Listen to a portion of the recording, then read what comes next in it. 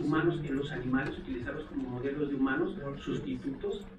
Y la otra es el programa ecológico, que busca entender la cognición como un fenómeno evolucionado en condiciones ambientales complejas y particulares. De esta manera, pues eh, las presentaciones que vamos a escuchar justamente hacen reflexión sobre de estos aspectos. Entonces, sin más, este, gracias por la invitación una vez más y eh, adelante con la presentación.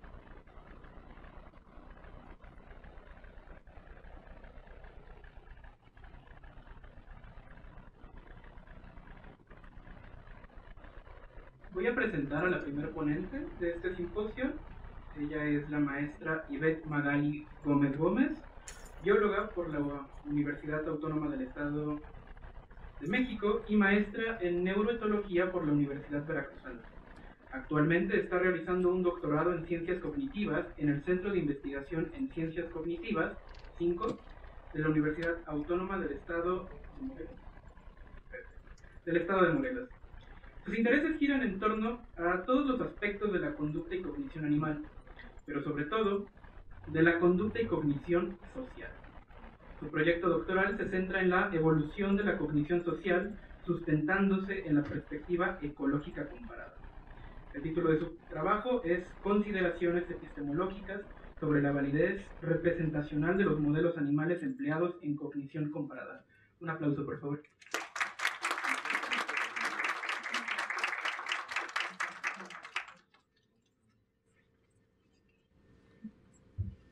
Muchas gracias por la invitación. Eh, como comentaba el doctor Germán, pues vamos a hacer ahorita una especie de reflexión sobre la validez representacional de los modelos que comúnmente utilizamos en cognición comparada. Y bueno, aprovechando la oportunidad y el hecho de que estamos en la Facultad de Psicología, eh, pues me gustaría empezar comentando que justo la psicología es una de las disciplinas que más está vinculada al estudio de la cognición. Si bien no es la única, pues está la filosofía, las neurociencias, lingüística, etcétera, etcétera. Sí se ha posicionado eh, pues en un lugar muy importante para el estudio de la cognición. Sin embargo, la psicología pues nació y se construyó se construye de forma antropocentrista, ¿no? Porque su objeto de estudio pues es principalmente el humano. Y bueno, para ello eh, pues utilizamos estudios directamente en humanos a través de diferentes pues herramientas heurísticas y eh, tecnológicas y también utilizamos modelos animales. Eh, perdón, se movió un poquito mi presentación. Entonces aquí entramos a lo que es el terreno de la psicología comparada, ¿no? Y bueno, entonces como les comentaba, ¿cuál es el objetivo real de la psicología comparada? Por una parte tenemos eh, quienes defienden esta visión antropocentrista en la que, eh, ¿sí se escucha bien? No, perdón. Eh, en la que el objetivo de la psicología comparada es hacer experimentación con otros animales, pero para entender la cognición humana. Y por otra parte están los defensores de una visión más biocentrista, en la que eh, pues el objetivo es estudiar la cognición de todos los animales en general, ¿no? Y si de paso entendemos al humano, pues qué bien. Eh, bueno, como ustedes saben, pues la psicología comparada tiene sus modelos predilectos, que son especies que se puede decir que ya están estandarizadas para su uso en laboratorio y que se han popularizado mucho. Lo que nosotros pues estamos comentando aquí, que son los modelos hegemónicos. Entonces, todo modelo tiene una cultura epistémica detrás que se ha construido a base de su contexto institucional, las facilidades en la infraestructura para su estudio, este, facilidades de su mantenimiento, el financiamiento científico que se les da, la viabilidad en las publicaciones, ventajas manipulativas y este y también este, la facilidad que nos con la que podemos acceder a ciertos tipos de datos, ¿no? Por ejemplo, la mosca de la fruta es un excelente modelo para acceder a eh, datos eh, genéticos, ¿no? Entonces, eh, pero una cosa muy importante de los modelos es su valor representacional y que pocas veces nos detenemos a reflexionar un poco sobre eso. Eh, bueno, voy a comenzar hablando sobre algunas características generales de los modelos animales. Eh, bueno, eh, la, la, perdón, la definición típica de modelo animal es cualquier especie no humana utilizada para obtener información sobre un espectro de fenómenos biológicos que puede ser extrapolada a otros organismos y o al humano. ¿okay?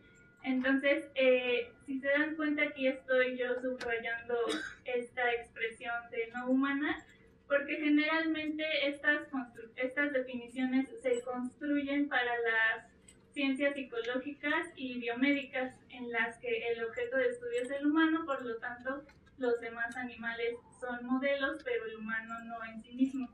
Sin embargo, eh, no me dejarán mentir, el humano también puede ser un modelo para el estudio de ciertos fenómenos este, biológicos y para sí mismo.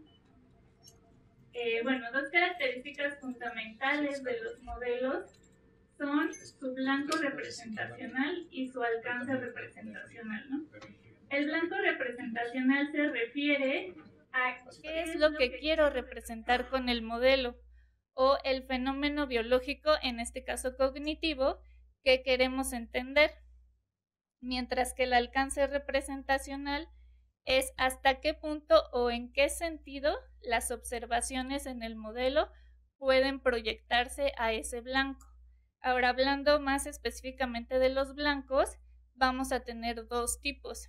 Eh, tenemos blancos particulares y blancos generales, ¿no?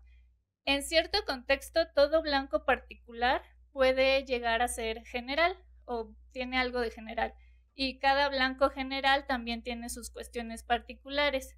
Sin embargo, antes de que nos hagamos bolas con esto, eh, vamos a tomar como blanco particular eh, la definición que, utiliza generalmente Volcker, que es cuando eh, nos referimos a cuestiones principalmente humanas o con un interés específico en la especie humana. en ese caso, cuando utilizamos blancos particulares, nuestros modelos suelen usarse como sustitutos, es decir, reemplazamos al humano con otra especie que sea predictiva de la respuesta humana. Mientras que por otro lado, los blancos generales eh, o más bien cuando utilizamos blancos generales, los modelos pasan a ser ejemplares, es decir, utilizamos a las especies como muestras de un fenómeno y determinamos a qué otras especies pueden estar representando. Y la pregunta eh, crucial aquí es, ¿bajo qué fundamentos estamos eligiendo a los modelos o este, estamos determinando su alcance representacional. Bien, eh, nosotros, como bien comentaba el doctor Germán, pues nos hemos dado a la tarea de, llevar este tipo de, análisis. Eh, hemos estado identificando algunos problemas epistemológicos sobre la representatividad de los modelos. Especialmente estamos analizando ahorita el caso de la rata, que es el animal más usado en cognición comparada. Pero bueno, estos problemas de los que les voy a, comentar a continuación se pueden eh, decir que son generales de una parte de la, de la psicología comparada, porque pues actualmente sí este pues también, o sea, hay buena psicología comparada y hay mala psicología comparada, ¿no? Entonces vamos a ir viendo. Eh, bueno, el primer problema es que los fundamentos en psicología comparada suelen ser antropocentristas, ¿no? ¿A qué me refiero con esto? Ya no es que el interese al humano, eso es completamente válido, sino que me refiero a la manera en la que nos visualizamos a nosotros mismos como especie en comparación a otras.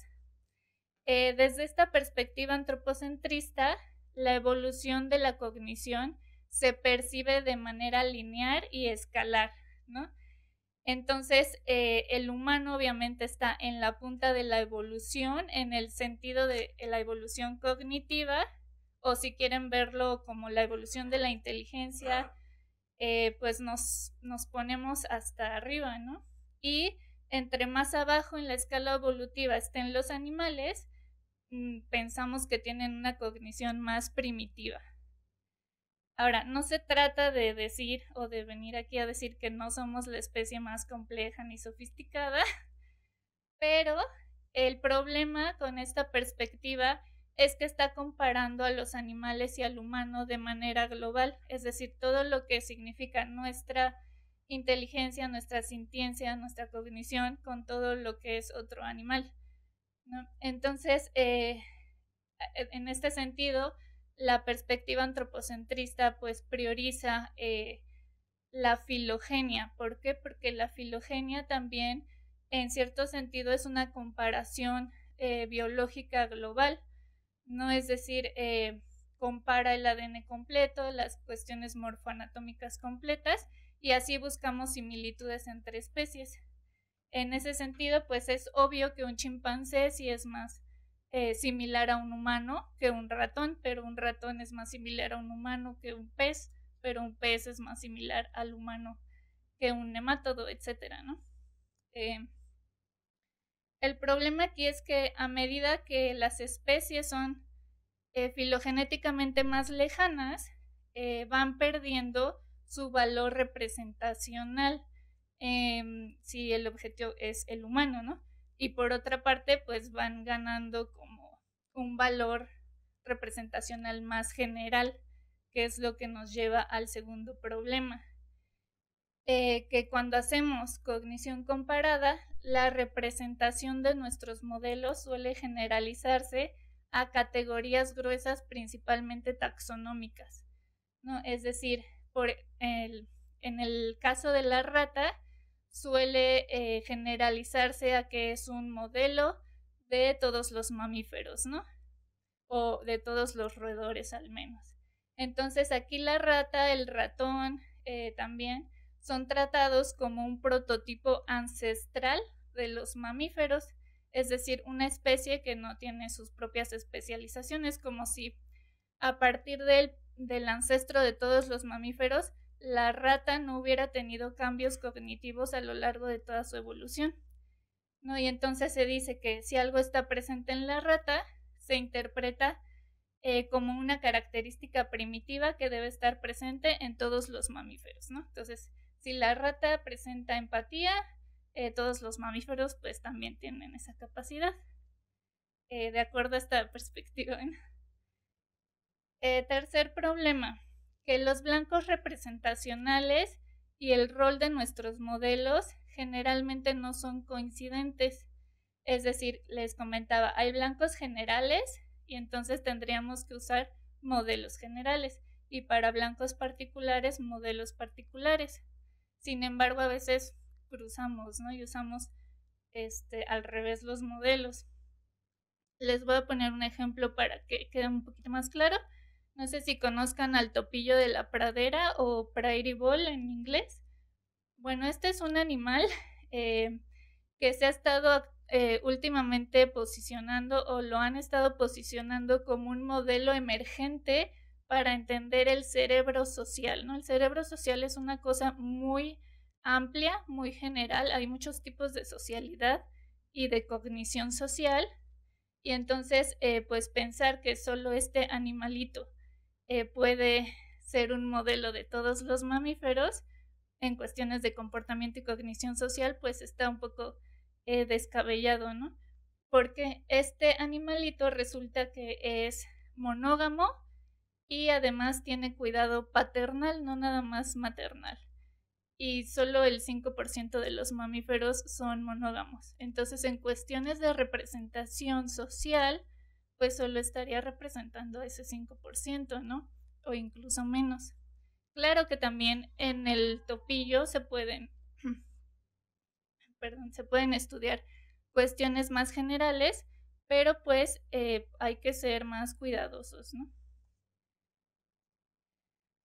Bueno, el cuarto problema es que los modelos son elegidos a priori sin una justificación teórica sobre su representación. ¿A qué me refiero con a priori? Que primero elegimos al modelo y luego hacemos las preguntas, ¿no?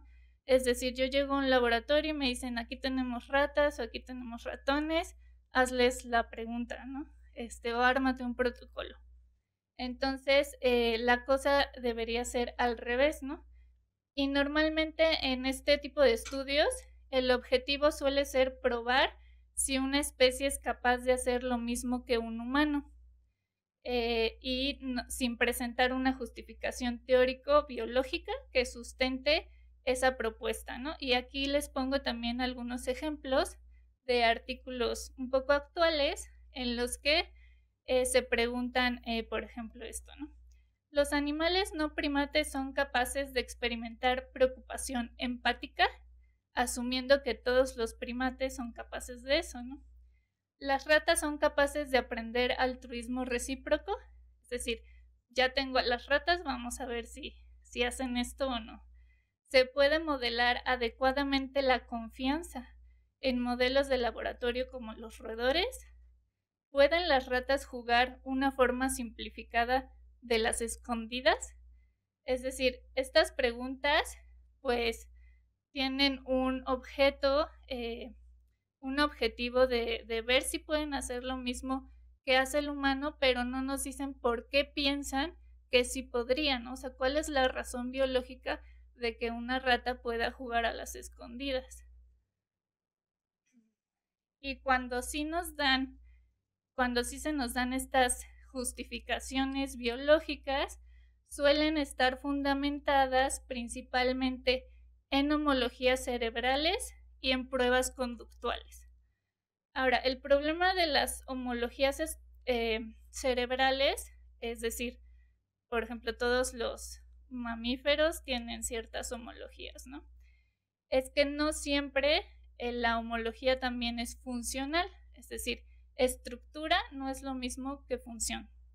Y eso lo podemos comprobar también este, morfológicamente, ¿no? les pongo este ejemplo de las extremidades anteriores de los mamíferos. Todas tienen un ancestro común, una morfoanatomía este, similar que también tiene un mismo origen embrionario, etc. Sin embargo, su función ya es muy especializada. Tenemos brazos, patas, aletas, alas. Y lo mismo puede ocurrir en cuestiones de el cerebro y la cognición, ¿no? Em, por otra parte, las pruebas conductuales, si bien sí son una herramienta útil porque es, o sea, al final de cuentas, el comportamiento es lo que nos permite inferir este, cuestiones cognitivas, ¿no? Es decir, si el animal se comporta de esta forma es que está teniendo motivación o está teniendo empatía o por decir un ejemplo, ¿no? Eh, pero no nos dice nada sobre la razón biológica, que es lo que comentaba hace un momento. Em, les pongo el ejemplo de la prueba, de la famosa prueba del espejo, ¿no? Que se utiliza para saber si los animales se reconocen a sí mismos como una correlación de autoconciencia o ajá, una forma de autoconciencia, ¿no? Este, y ok, ya vimos que algunos primates sí pueden, pero no todos, ¿no? O sea, sí pasan esta prueba, pero no todos. Algunos eh, delfines pasan la prueba, pero no todos. Este, también tenemos el caso de los elefantes, creo que los asiáticos sí pueden y los africanos al menos no han pasado la prueba. Y algunos córvidos, pero no todos. Y de hecho hay un pez, actualmente se descubrió que hay un pez que pues pasa esta prueba de reconocimiento en el espejo. Entonces, eh, bajo la lógica que les estaba comentando hace un momento, pues no podemos, o sea, esto no nos da ninguna señal de hacia qué otras especies podemos extrapolar eh, pues este fenómeno cognitivo, ¿no? Es decir, no puedo decir que todos los primates, es que es una capacidad de los primates, ni de los mamíferos, ni de las aves en sí, o sea, como grupo taxonómico, ni de los peces, ¿no? O pudiera yo decir, es que si están los peces, pues significa que es una capacidad primitiva y debe estar en todos los vertebrados al menos. Eh, no, entonces, ¿cómo es que hacemos estas inferencias o extrapolaciones a partir de pruebas conductuales? Pues necesitamos razones biológicas más allá de las meras pruebas y pues de la filogenia, ¿no? Entonces, eh, tenemos estas especies, eh, regresando a este ejemplo, que pareciera que están aleatoriamente distribuidas, ¿no? Por ahí tenemos a los primates, a los elefantes, hasta acá tenemos a las ballenas, este, los roedores, bueno, los peces, los córvidos. Este, entonces, eh, si no hay una razón, una explicación eh, taxonómica, pues tenemos que, em, que justificar esa representatividad de los animales en otras cuestiones biológicas, ¿no?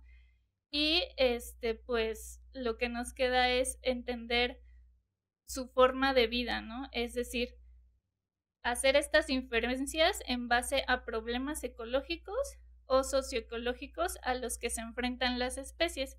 Es decir, ¿qué tendrían en común todas estas especies que supuestamente pueden reconocerse en el espejo? en su forma de vida, ¿no? Y ahí pues tendríamos una respuesta que nos daría el alcance representacional de este fenómeno, etc. Y bueno, entonces aquí ya les eh, comento un poco eh, que nosotros pues venimos aquí haciendo una reflexión sobre eh, cómo la ecología comparada o la ecología cognitiva puede ayudarnos a determinar el alcance representacional de nuestros modelos animales. Entonces, respondiendo a cuestiones como a qué especies puedo generalizar las observaciones en un modelo o cómo puedo elegir un modelo representativo, ¿no? Del humano o de cualquier este, cuestión, perdón, particular que, este, que me interese. Entonces, desde la perspectiva ecológica, las comparaciones, a diferencia de del antropocentrismo no son globales, sino que están centradas en la función de la cognición. Eso es lo que nos permite saber hacia dónde extrapolar. Y compara desde problemas ecológicos las estrategias perdón, compara desde problemas ecológicos y desde las estrategias cognitivo-conductuales que resuelven estos problemas ecológicos. Eh, les pongo un ejemplo este, de forma rápida, ¿no? Si mi blanco de estudio fuera el reconocimiento y los lazos filiales entre las hembras y sus crías, pues eh, puedo decir que uno de muchos problemas que pueden este, estar relacionados con esta capacidad cognitiva es la inversión energética en crías ajenas, ¿no? Este es un problema ecológico porque yo puedo, yo quiero cuidar a mis crías, ¿no? A las de otro individuo. Entonces, evolucionan estrategias cognitivos conductuales eh, que lo resuelven, ¿no? Como el reconocimiento de las propias crías, la preferencia por las propias crías y el rechazo hacia crías ajenas. Y este, pero entonces, ¿cómo extrapolo? Pues pensando en qué tipo de especies se enfrentan a este problema ecológico en particular. Entonces, en un sentido muy básico, podrían ser especies con crías altricias, es decir, que necesitan cuidados, que son gregarias y que tienen crianza comunal. Y entonces puedo eh, tener un grupo de especies que no tienen una relación filogenética necesariamente. Y bueno, entonces el punto está en preguntarnos qué problema ecológico está resolviendo una capacidad cognitiva y qué tipo de especies se enfrentan a dicho problema, ¿no? Es decir, son mecanismos, bueno, ya después de, determinar qué tipo de especies podrían estarse representando entre ellas a nivel cognitivo, podemos eh, pues ver eh, o hacernos otro tipo de preguntas, ¿no? Como si son mecanismos homólogos u análogos, en cómo se desenvuelve a lo largo del desarrollo, etc. Y bueno, en resumen, la ecología cognitiva comparada nos permite comprender los contextos en los que los blancos de estudio pueden ser particulares o generales, delimitar de forma más clara el alcance representacional de los modelos, comprender el valor epistémico de cada especie y encontrar mejores modelos para determinados problemas en el estudio de la cognición. Y eh, para ir concluyendo, la idea de este simposio pues era precisamente hacer o invitarlos a reflexionar sobre cómo estamos utilizando nuestros modelos en cognición comparada y sobre todo a que le den una oportunidad a la ecología cognitiva para conocer mejor a sus modelos y poder extraer información más válida de ellos. Em, y bueno, esto no lo digo nada más porque sí, sino que eh, el cómo hacemos cognición comparada tiene repercusiones incluso a nivel social. Eh, es decir, las cosas no se quedan aquí en la academia ni en los artículos científicos, ¿no? Eh, si nosotros eh, hacemos mala ciencia, eh, es decir, tenemos aquí en las ciencias cognitivas comparadas, empezamos a hacer inferencias sesgadas o mal justificadas, luego esto pasa a las ciencias humanas, en donde se adoptan este, estas inferencias sesgadas para sustentar hipótesis sobre el comportamiento y la cognición humana. Luego de eso, de ahí sale a la educación ¿no? y a la comunicación de la ciencia, en donde sabemos que la información suele ser este, simplificada o a veces desmesurada, ¿no? Se va construyendo una bolita de nieve que llega a la cultura, o más bien, a la cultura popular, y entonces eh, cambia o modifica nuestra percepción de la naturaleza humana, ¿no? Llegando incluso a influenciar dinámicas socioculturales. Entonces, eh, ya por último, si quieren conocer más al respecto de, este fenómeno cultural desde las ciencias cognitivas, eh, les, les recomiendo estos dos artículos. El primero habla sobre la influencia cultural que tuvieron los experimentos de John este, Calhoun. En, bueno, él estudiaba el efecto de, la sobrepoblación a nivel conductual y tuvo muchas repercusiones su trabajo a nivel cultural. Y también este estudio que nos presentan Kenny y Muller sobre las eh, narrativas que se han generado alrededor de la maternidad precisamente por estudiar a las ratas de laboratorio. Y bueno, eso es todo por mi parte. Gracias.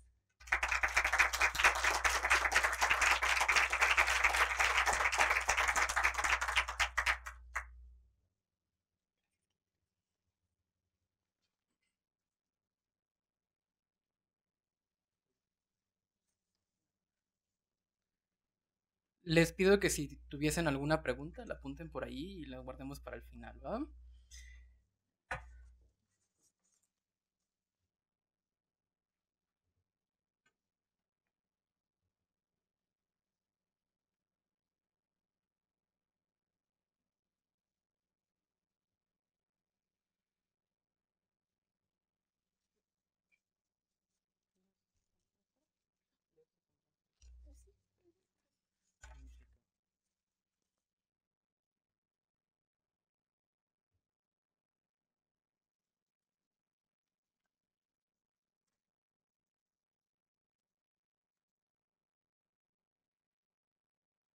Les presento a la doctora María de Lourdes Ruiz Gómez. Ella es profesora, investigadora de tiempo completo de la Facultad de Ciencias de la Universidad Autónoma del Estado de México y responsable del Laboratorio de Ecología y Conducta. Es bióloga por la Universidad Autónoma del Estado de México, doctora en Ciencias por la Universidad de Glasgow, Escocia, y realizó un postdoctorado en la Universidad Noruega de Ciencias de la Vida. Ha realizado estancias de investigación en la Universidad de Oslo, la Universidad Técnica de Dinamarca, la Universidad Autónoma de Barcelona, la Universidad de Vigo, la Universidad de Akron, la Universidad de Kansas y el Instituto Erel, donde se ha capacitado en aspectos de la conducta en campo y laboratorio, fisiología, biología molecular y neurobiología. Su investigación se enfoca en el estudio de la conducta animal con énfasis en las diferencias individuales, cognición, reproducción y sus implicaciones y mecanismos desde una perspectiva ecológica y evolutiva, así como la aplicación de la conducta para el bienestar animal como un bioindicador de la calidad ambiental. Sus modelos de estudios son los reptiles, peces, aves y mariposas. Desde el 2010 pertenece al Sistema Nacional de Investigadores, nivel 1, y tiene reconocimiento a la docencia por parte de la SEP. Ha publicado más de 30 artículos, tanto científicos como de divulgación, capítulos de libro y ha impartido más de 130 cursos de licenciatura y posgrado. Participa activamente en ferias de ciencia y encuentros científicos y de divulgación. El título de su trabajo es Cognición en reptiles. Un aplauso, por favor.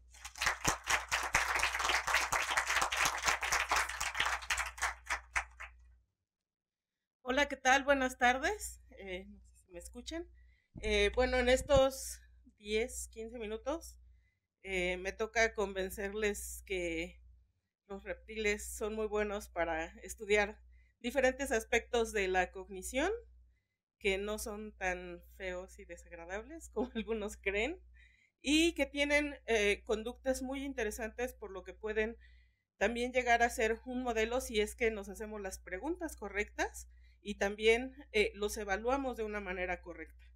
Entonces, bueno, sin más, voy a comenzar. Como ya Ivette lo dijo, eh, em, nos hemos enfocado mucho a evaluar la cognición en humanos, pero pues también muchos eh, hemos, em, nos hemos dado cuenta que los reptiles también tienen algo que decirnos relacionado con la cognición. Y pues en términos evolutivos pues somos relativamente cercanos, si lo pudiéramos ver desde esa forma, ¿no? Bueno, más cercanos a un reptil que a un em, caracol.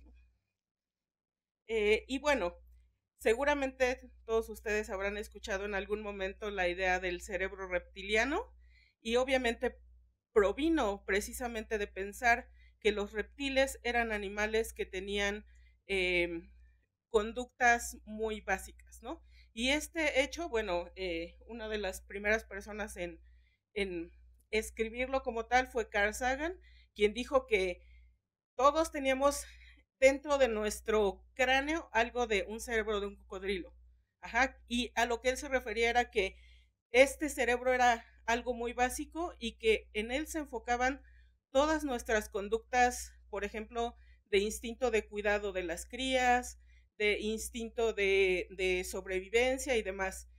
Mientras que a lo largo de la evolución surgió algo que se denominaba la corteza cerebral y que eso hizo que pues todo evolucionara mm, hacia una mejor cognición, hacia una mayor inteligencia y eso nos llevó como a, a, a, la civilización, ¿no? Era lo que él decía. Sin embargo, bueno, si lo vemos desde una perspectiva más comparada, muchos estudios y relacionado con el cerebro, eh, ya hay muchos estudios que señalan la similitud entre los cerebros de diferentes grupos animales. Y si ustedes ven aquí en, este, en esta imagen, eh, ustedes pueden ver hasta arriba el cerebro de un pez, después el cerebro de un anfibio, después el cerebro de una lagartija, de un ave y de un humano al final. Y eh, en el mismo color están subrayadas, digamos, em, sus partes homólogas o aquellas que tienen una función similar. Y a final de cuentas, pues todos los cerebros de cualquier grupo animal de los que ven ahí tienen eh, partes en su cerebro que tienen el potencial de tener la misma función. Pero pues como también Ivette no lo hizo ver, pues tampoco podemos decir es que si una lagartija se comporta de una manera, seguramente los humanos también, porque la lagartija es em, em, más primitiva y entonces si los más primitivos lo tienen, los demás también, ¿no? No, tampoco es así la evolución, ¿no? Tampoco funciona así y especialmente porque los organismos todos evolucionamos en un ambiente muy particular, tanto humanos como animales no humanos, evolucionamos en diferentes ambientes. Y esa evolución en esos ambientes particulares también nos hace desarrollar diferentes funciones, ¿no? Y entonces también va a haber funciones que van a ser únicas de las especies, ¿no? y, va a ser muy difícil eh, generalizar hacia otras especies, pero pues es muy probable que también pueda ser al revés, ¿no? Pero pues lo indispensable va a ser precisamente lo que nos comentaban, hacer las preguntas correctas antes de pensar en el animal y, y también eh, hacerlo en un contexto adecuado, ¿no? Eh, y hacerlo ecológicamente relevante para los organismos. Y bueno, reptiles. Em, yo soy bióloga, entonces pues a mí cualquier animal me gusta, no todos, pero... Eh, eh, y bueno, los, los reptiles me han llamado mucho la atención, pero también porque he encontrado en ellos animales que son muy relativamente fáciles de, mantener, relativamente fáciles de trabajar con ellos, pero también que tienen muchas conductas muy interesantes que tienen una función ecológica para los reptiles también muy particular pero que en algunos momentos también no está de más ver que son muy parecidos a otros organismos, ¿no? Entonces tampoco podemos decir, bueno, es que no puedes generalizar, en algún momento se puede generalizar, ¿no? Pero obviamente con, con su debida cautela. Eh, bueno, los reptiles, no hay tanta información sobre cognición en reptiles, de hecho hay pocos grupos eh, de investigación que se dedican a la, a la cognición en reptiles o al menos al aprendizaje en reptiles. En México eh, podría yo a lo mejor aventurarme a decir que el laboratorio es uno de los muy poquitos. Y en el mundo, pues dos o tres más, este, que están ya viendo y tomando los reptiles, digamos que tomándolos más en serio, ¿no? Tal vez.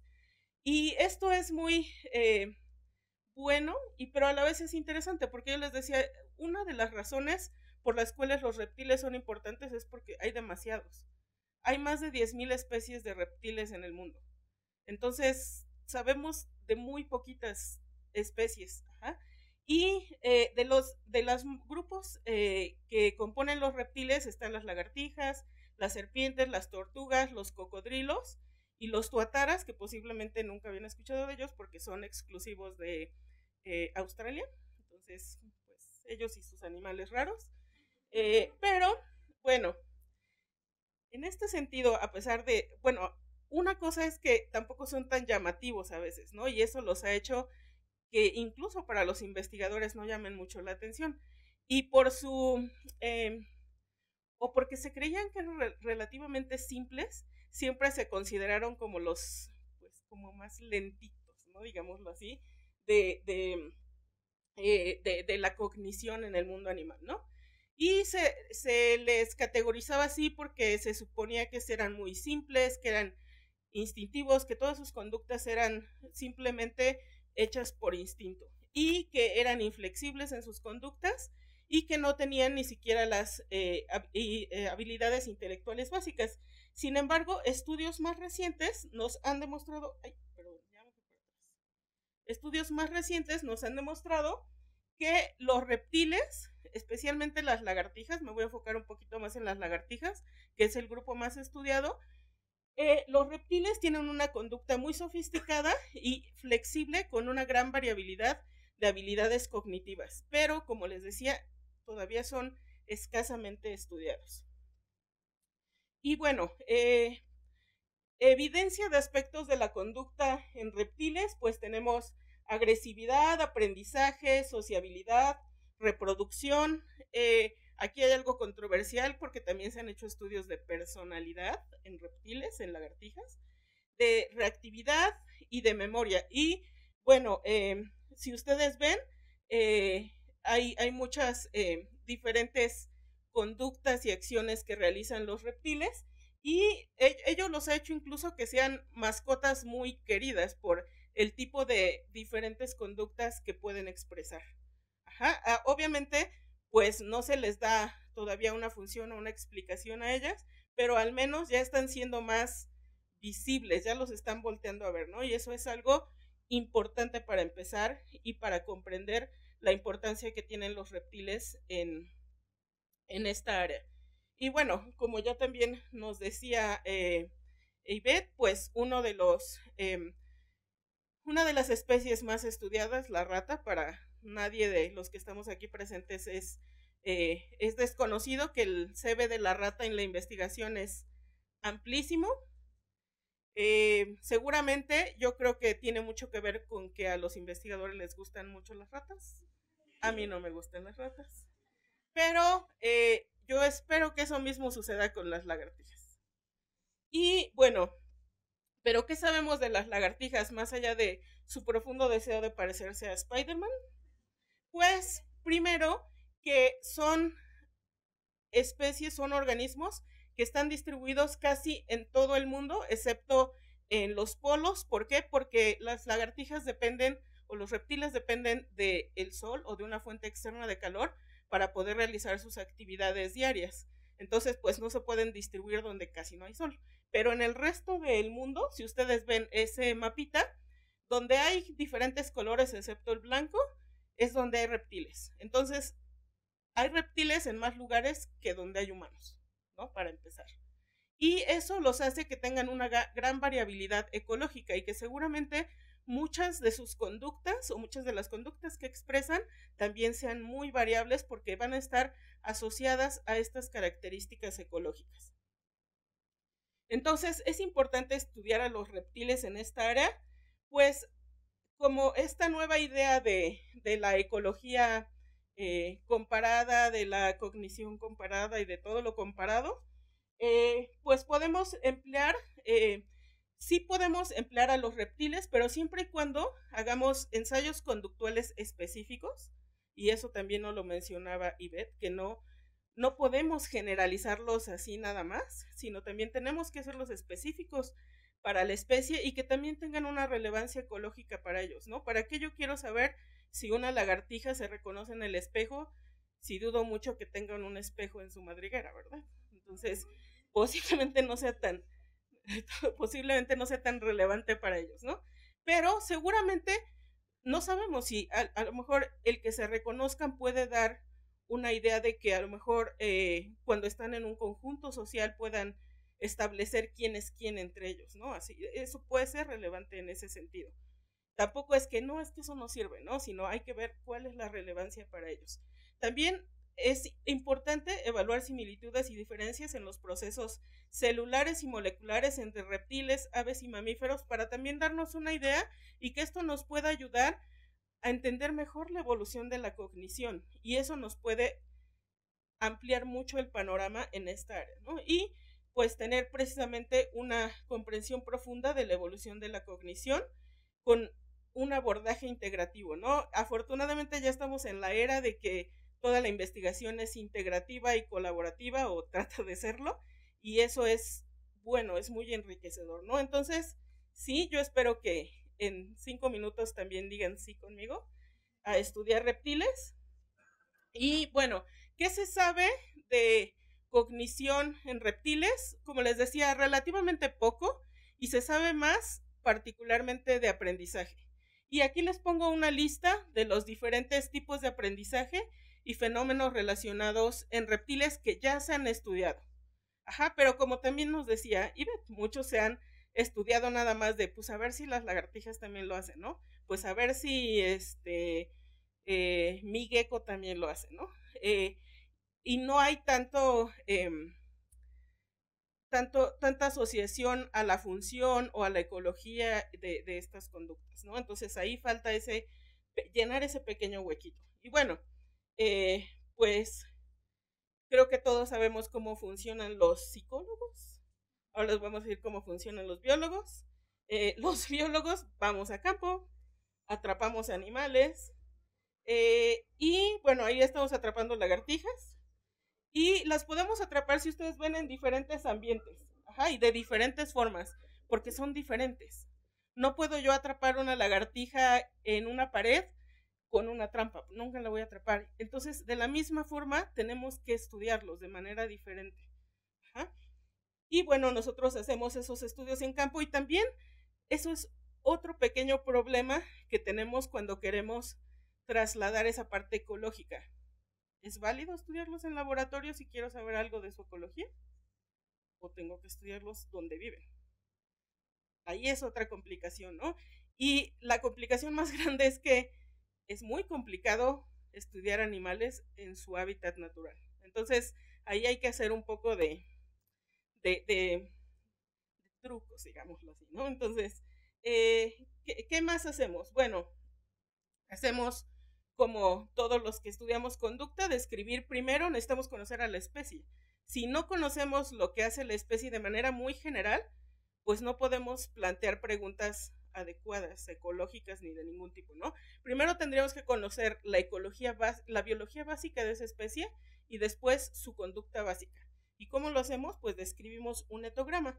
De hecho, aquí les pongo uno que creo que no se alcanza a ver, pero eh, es una lista de las conductas que tienen los organismos y una posible eh, asociación a una característica ecológica. Y entonces, pues nosotros es lo que describimos. Y ya a partir de esa, ya podemos hacer preguntas más específicas sobre su comportamiento. Y bueno, ahora viene la parte divertida. Les voy a hablar acerca del trabajo que particularmente nosotros realizamos en el laboratorio. Eh, aquí evaluamos hace un tiempo personalidad o básicamente lo que son diferencias individuales en la conducta. Ahora, si hay que tener cuidado para eh, no generalizar tanto, también hay que tener cuidado para no decir que todos los organismos de un grupo o todos los organismos de una especie son iguales, porque también hemos descubierto que son diferentes entre individuos. Entonces es más complicado de lo que de lo que creíamos, ¿no? Pero sabiéndolo ya podemos tomarlo en consideración, ¿no? Si no lo sabemos, lo pasamos de largo, ¿no? Entonces, les voy a mostrar unos videos cortitos de cómo se ven esas diferencias entre individuos, para que más o menos se den idea de qué es a lo que yo me refiero con que, ay, una lagartija tiene personalidad. Bueno, si ustedes ven el tipo de terrario, es muy básico. Es una pecera que tiene un sustrato para que las lagartijas no se patinen porque tienen garritas. Tiene una tapita blanca donde se le pone agua por si requiere beber. Y tiene una roca de un lado. Y esta roca funciona como un refugio porque donde ellas viven se refugian en rocas. Entonces lo que hacemos era poner a la lagartija en el refugio y ver qué tanto exploraba un ambiente novedoso, ¿no? Porque nos dijeron que ese era un test particular para evaluar la personalidad. Y entonces, pues vamos a ver qué hace, ¿no? Y entonces observamos que había una gran variabilidad de respuestas en las lagartijas y de la misma especie y del mismo tamaño y demás. Entonces, ponemos ahí a la lagartija y ahí va, ¿no? Pues a ver qué hay aquí, a ver qué me encuentro. Incluso por ahí empieza como a rascar porque pues, está buscando comida seguramente, ¿no? Y tenemos otra, lo mismo, la ponemos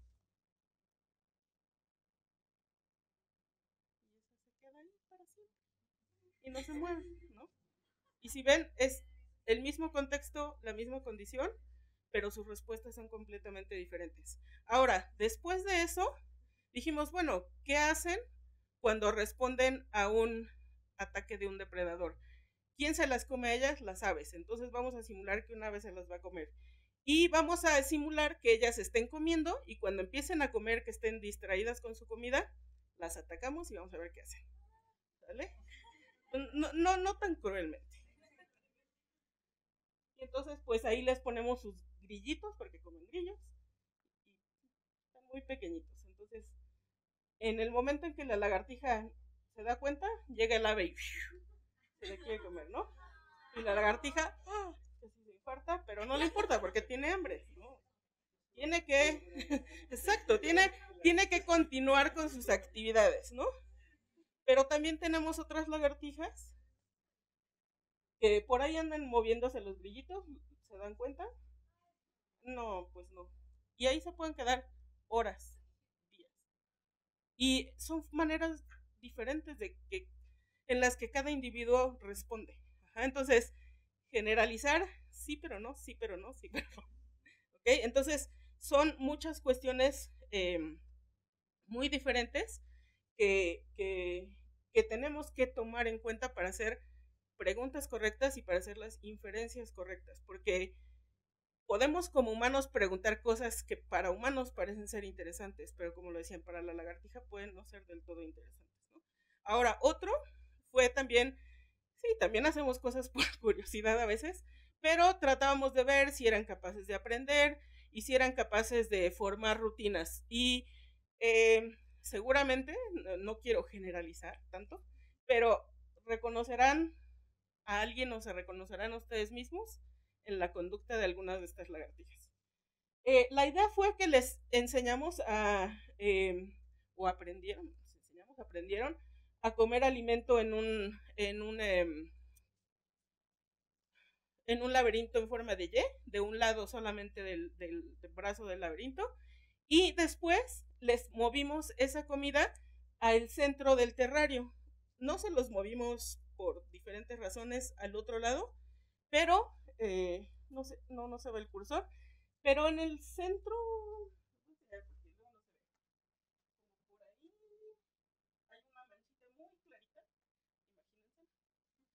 y ahí les pusimos la comida. Ellos ya habían aprendido a ir a comer a un brazo del terrario. Y entonces dijimos, bueno, vamos a ver si pasan por la comida, la ven y se la comen, ¿no? O sea, sí, ¿no? Ahí está la comida. Pues vean lo que hace la primera lagartija. Les abrimos ahí su casita y no. Casi pasa encima de la comida. Mientras que otra dice, mmm, y hay algo que me puede interesar, ¿no? Comida se la come. Y entonces dijimos, bueno, y si les ponemos algo novedoso que al, tal vez nunca hayan visto, ¿los asustará o no? O bueno, no sé si se asusten, ¿no? Pero les llamará la atención una pelota roja. Yo estoy segura que nunca en su hábitat se van a encontrar una pelota roja, ¿no? Primera lagartija. Ah, no sé si la, ya pasó la primera. Bueno, sí la vieron, ¿verdad? Y la segunda,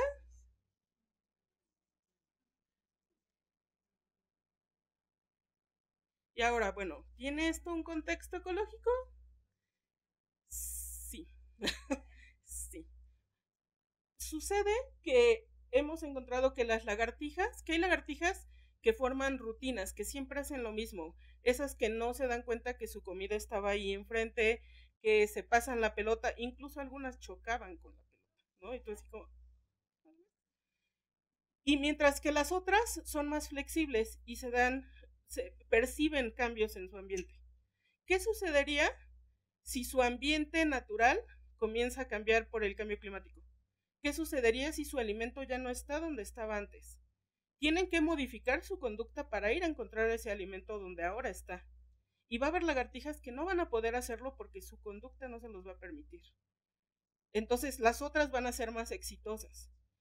Entonces, eh, la idea es que las lagartijas y muchos animales, que también ya lo hemos visto en otros animales, eh, son las lagartijas que forman rutinas, son muy buenas en ambientes que son estables, donde la comida es estable, donde no hay eh, escasez de alimento, donde hay eh, suficientes refugios y demás, mientras que las lagartijas que son más flexibles son más exitosas en ambientes que son más inestables.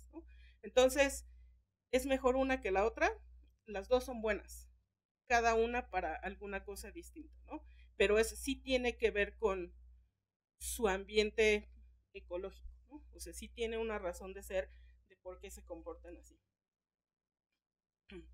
Y bueno, eh, otro de los estudios rápidamente que también hemos hecho con las mismas lagartijas fue ver si podían este, eh, asociar el alimento a un, a un patrón específico de, de y eh, si ven ahí un poquito la lagartija, pues primero como que, ah, ¿dónde estoy? Y ya después como que dijo, ah, sí, sí, era de este lado, ¿no? Y ya se va. Y algo interesante que vimos es que esas lagartijas fueron evaluadas o se les entrenó, enseñó cuando eran bebés, cuando eran lagartijas bebés. Después se mantuvieron sin ningún experimento, como por tres meses, y se les volvió a hacer la misma evaluación cuando eran juveniles, que es la de en medio. Y después, como otros tres o cuatro meses, cuando ya eran adultos. Y lo que vimos es que la respuesta de cuando eran adultos, obviamente todo se adecuó a los diferentes tamaños, porque pueden decir, ah, bueno, sí, la encontró primero porque estaba más grande y de dos pasos llegó, ¿no? Sino todo se fue adecuando a los tamaños. Eh, cuando eran adultos, respondían mucho más rápido, encontraban la comida mucho más rápido. Entonces, una idea es que sí pueden mantener el conocimiento que obtuvieron cuando eran pequeñas y volver a usarlo en, un futuro cuando son adultos, ¿no? Y bueno, ya eh, obviamente pues hay que hacer más cosas ahí. Y también, por ejemplo, este es uno más reciente, donde eh, estuvimos analizando eh, diferencias de las mismas lagartijas ante una, tarea simple y una compleja. Y eh, bueno, ahí están los terrarios de la simple y de la compleja. Y lo que vimos es que las lagartijas son muy buenas dependiendo de la temperatura. Si la temperatura es muy alta, son muy buenas en tareas simples, pero también en tareas complejas, un poco menos buenas, pero siguen siendo muy buenas. En temperaturas más frías no son tan buenas. Y dices, bueno, calentamiento global, están preparadas.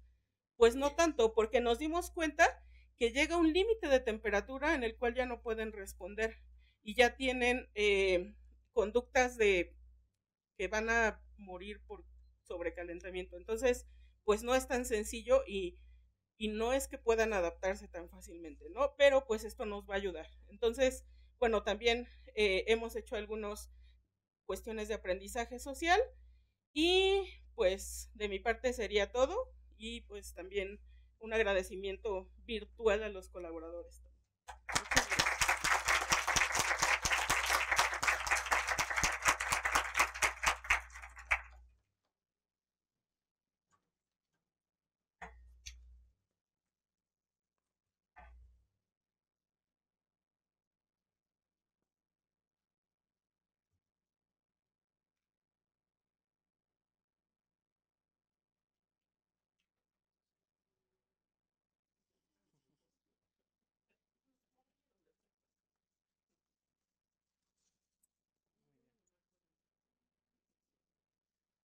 Vamos a pasar a la, tercera ponencia. Voy a presentar al doctor Germán Octavio López Riquelme. El doctor Germán Octavio López Riquelme es biólogo egresado de la Facultad de Ciencias del UNAM. Realizó el doctorado en Ciencias Biológicas con especialización en neuroetología, también en la Facultad de Ciencias del UNAM, y en los Arizona Research Laboratories Division of Neurobiology de la Universidad de Arizona en Tucson, Estados Unidos. Realizó estancias postdoctorales en la División de Investigación de la Facultad de Medicina del UNAM, en el Departamento de Física del CIMBESTAP y el posgrado en Ciencias Cognitivas de la Universidad Autónoma del Estado de Morelos. Es miembro fundador del Centro de Investigación en Ciencias Cognitivas y desde agosto del 2017 es profesor investigador tiempo completo y responsable del área de neurociencia cognitiva evolutiva del 5 y fundador y responsable del laboratorio de socioneurobiología del mismo centro. Actualmente es PITC titular A, es miembro del Sistema Nacional de Investigadores Nivel 1, cuenta con reconocimiento de perfil deseable de PRODEP, pertenece al cuerpo académico Epistemología y Ciencias Cognitivas. Ha sido pionero del estudio de las bases neurobiológicas del comportamiento social en hormigas y otros insectos sociales, su línea de investigación principal es la socioneurobiología, las bases neurológicas del comportamiento y cognición social en animales humanos. Y humanos. También somos animales. Ha publicado los resultados de su investigación en revistas indizadas. Ha impartido numerosos cursos animales a niveles de licenciatura y posgrado y además ha dirigido tesis y participado como miembro de comités tutoriales de alumnos de licenciatura y posgrado. Su trabajo se titula Hormigas como modelos para el estudio de evolución del cerebro y la cognición. Un aplauso, por favor.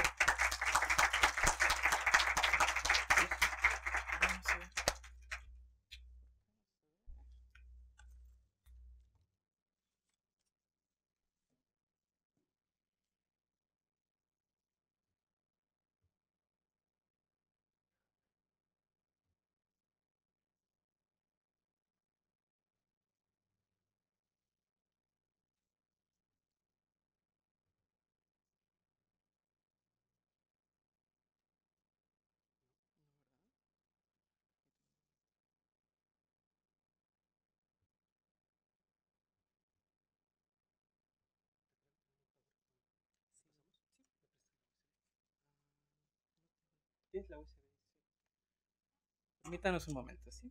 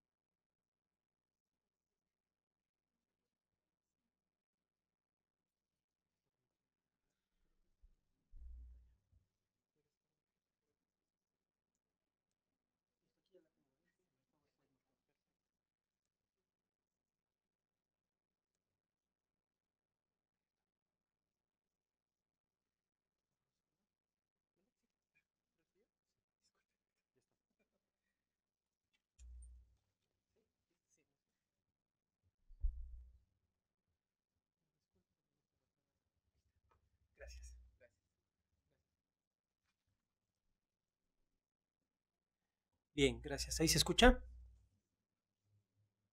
Bien.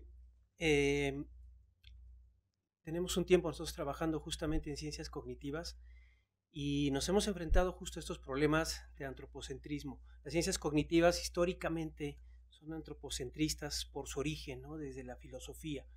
Eh, y hasta donde yo sé, los propios científicos cognitivos se han negado a cumplir un objetivo general que en otras eh, áreas u otros fenómenos de, estudio se ha intentado hacer, ¿no? Es decir, desarrollar una teoría general de los sistemas cognitivos, una teoría general de la cognición.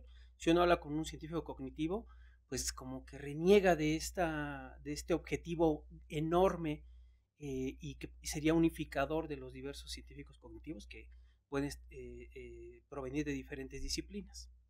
Bien, lo que voy a tratar de hacer ahorita con esta presentación es mostrar justamente cómo las hormigas y los insectos sociales pueden ser modelos no de la cognición humana, sino de, lo, de los fenómenos cognitivos en general. Entonces, espero poderlo lograr. Eh, a ver si puedo.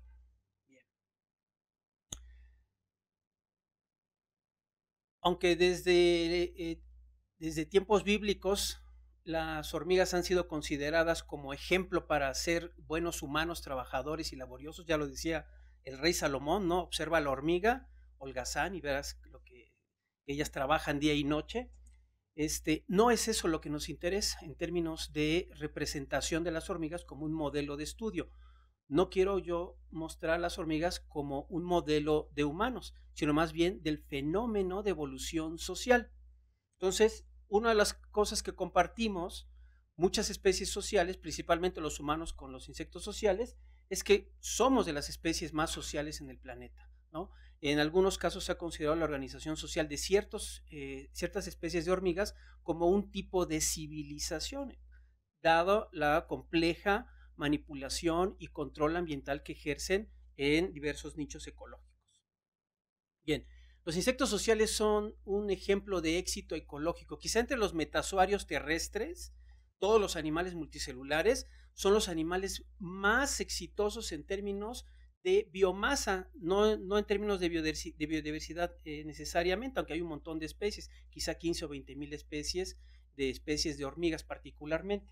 Aquí les muestro unos estimados que se han hecho sobre el éxito ecológico de las hormigas particularmente, por ejemplo, en, bosques lluviosos. respecto a otros mamíferos. En términos de biomasa, las hormigas serían mucho eh, eh, tendrían mucho mayor biomasa que todos los mamíferos de todos los bosques lluviosos existentes. Entonces eso nos habla muchísimo del éxito ecológico que pueden tener. Más o menos como el 2% de las especies de los trópicos son hormigas, pero más de tres cuartos se corresponde a la biomasa animal. Entonces habla de un éxito ecológico enorme. ¿A qué se debe este éxito ecológico paralelo entre sociedades humanas y sociedades de insectos? Pues a el hecho de que viven en sociedades organizadas, complejamente organizadas, basadas en, la división del trabajo y, y, la coordinación a través de sistemas de comunicación bastante complejos. Aquí les pongo uno de los ejemplos de sociedades de hormigas mucho más complejos que conocemos, que son las hormigas cultivadoras de hongos, que dicho sea de paso, con ellas compartimos eh, la capacidad de, de, producir un organismo para alimento este, propio, es decir, agricultura. Estas hormigas cultivan un hongo a partir de material vegetal fresco en una cadena de producción que va desde la colecta del material fresco hasta la inoculación del hongo con el, del material fresco con un hongo que cultivan en, este, en cámaras profundas y enormes dentro de los nidos. Ahí pueden ver la compleja red de galerías y túneles que forma un solo nido que puede abarcar varios este, eh, centenares de, metros a la redonda este, y bastantes hacia la profundidad. Esta me la voy a saltar. ¿A, qué se debe este éxito ecológico? Pues a la organización social y a la complejidad conductual en diversos niveles de organización. Ahorita voy a explicar. Por ejemplo, estos nidos que veíamos este, son construidos, son madrigueras construidas de manera adaptativa, es decir, la estructura de los nidos no es un epifenómeno, sino es una estructura evolucionada por selección natural, lo que se conoce como fenotipo extendido. Lo que vemos aquí les ejemplifico este, del lado izquierdo, cómo los nidos de las hormigas mantienen control de temperatura y humedad. Ahí pongo la oscilación este, circadiana de temperatura y humedad. Y arriba está en línea constante y, este, y abajo la temperatura y la humedad siempre se mantienen constantes. Pero eso no es lo único, también se mantiene constante la concentración de gases a través de, una de la estructura, es decir, la, estructura de túneles permite que el aire caliente y cargado de dióxido de carbono salga por el centro de, las, los túneles y las aberturas hacia el exterior. Esto genera un vacío y por la periferia se absorbe este aire fresco con oxígeno.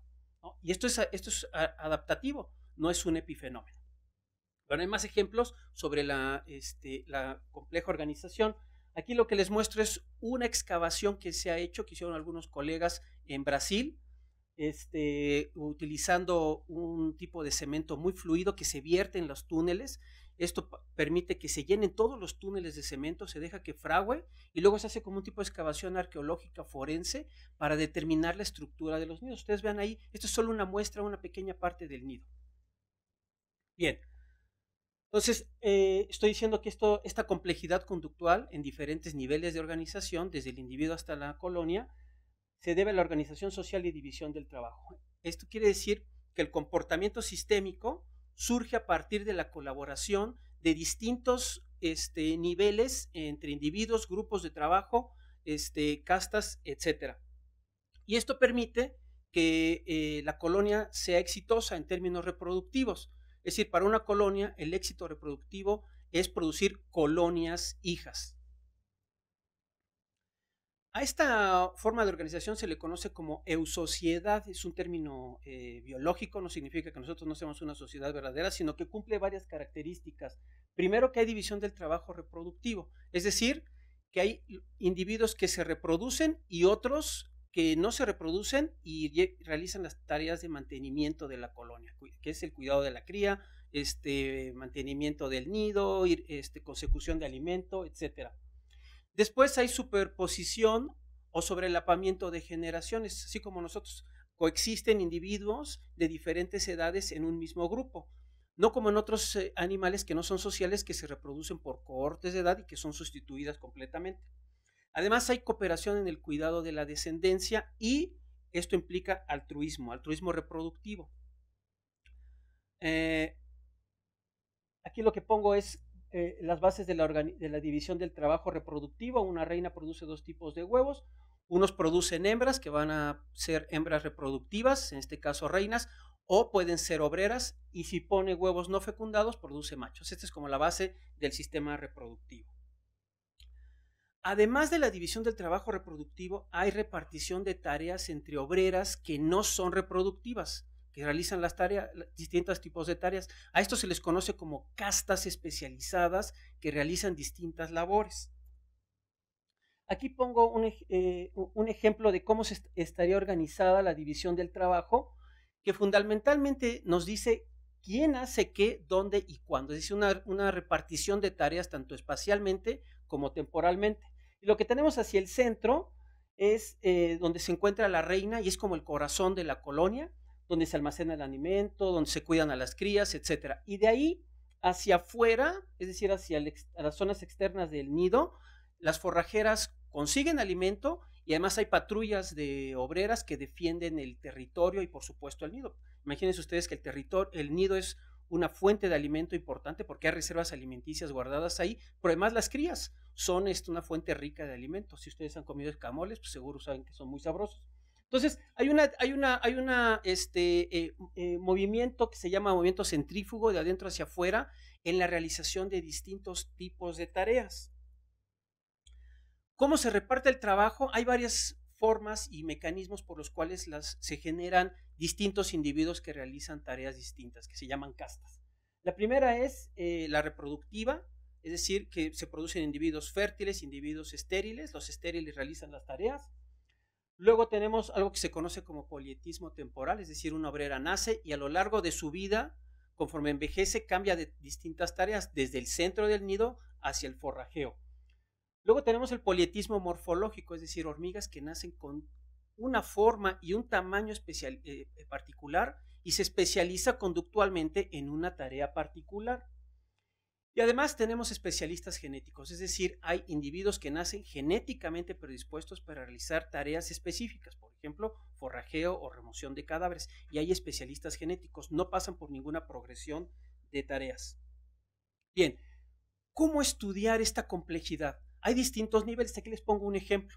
A nosotros nos interesa cómo los individuos toman decisiones para realizar una tarea particular, cómo se enlazan en grupos y estos grupos realizan una tarea particular que se pueden repartir pedacitos de la tarea, por ejemplo, ir a forrajear.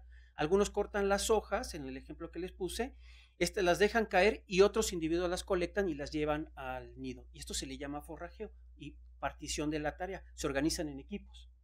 Y luego, como estos equipos se organizan en grupos más grandes que completan las tareas que realiza la colonia completa hasta el nivel sistémico. Entonces nosotros tenemos distintos niveles de organización que corresponden a distintos niveles de cognición, desde el individual hasta el colonial.